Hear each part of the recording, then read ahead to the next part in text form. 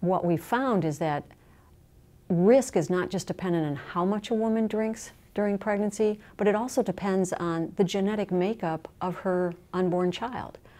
So, for example, in this twin study that we just did, twins provide this excellent opportunity to be able to look at two individuals who have been experience essentially identical eh, prenatal alcohol exposures throughout a whole nine month pregnancy. But what's fascinating is then with the, the fraternal twins, when they're not genetically identical, we see that despite identical exposures, over half of them have different fetal alcohol outcomes, despite having, again, the identical exposures.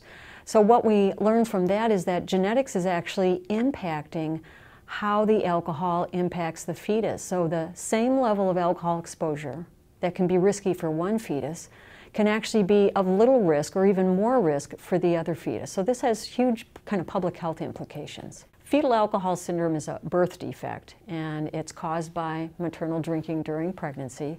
And it's defined by or characterized by the child typically has some level of growth deficiency.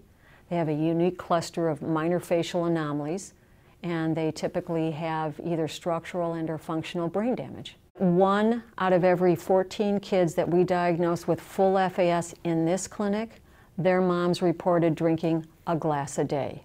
So the majority of individuals who have full FAS were in fact reportedly exposed to much higher levels, but one out of every 14 with full-blown FAS was reportedly exposed to just a single glass of wine a day. We're often asked, is there a safe amount to drink during pregnancy? And the answer is, since the same level of alcohol can do strikingly different levels of damage on two fetuses. That makes it very difficult to identify a single level that's going to be safe for everyone. So it continues to be the only safe amount is none at all.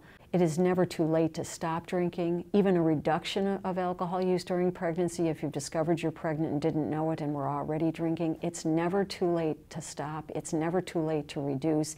Any level of reduction at any time during pregnancy will be helpful for the fetus.